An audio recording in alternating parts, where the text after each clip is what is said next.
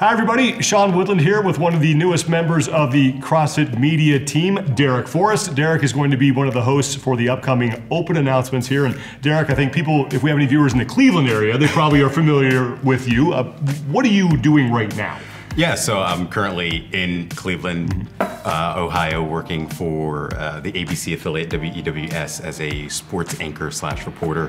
Uh, been there the last two and a half years, so I do everything from covering the Cavs, covering the Indians, covering the Browns. So obviously getting ready for spring training and, and what the Indians are going to do. Yeah, uh, Dan Bailey probably a big fan of all those uh, those teams. So good connection there. Uh, I know you've worked out with Scott Panchik as well. But where, how did you get into CrossFit?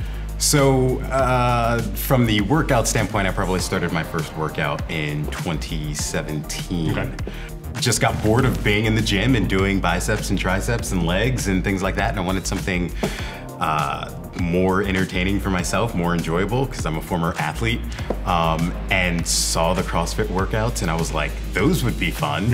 so let's do that. Um, so from that standpoint, I learned about CrossFit in 2017 and the workouts. In terms of CrossFit itself, probably about 2014, 2015, uh, there was a, a, video put out by CrossFit called Let Beauty Speak, I yeah. believe is the name mm -hmm. of it. Um, first time I saw that, I'm a TV guy, I've been in the business for 18 years, so literally the moment I saw that, I was like, the video production quality is outstanding. What's CrossFit doing?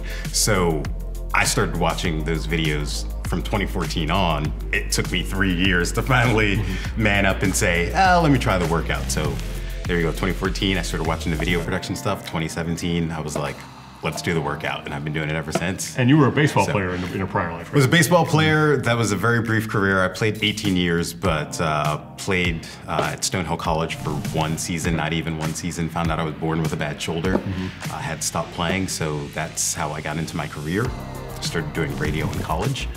Um, and then that transferred to going to the television side. So right off the bat, worked with ESPN yeah. production for a couple years and then converted to the TV side. So I've been doing TV for 18 years now, so.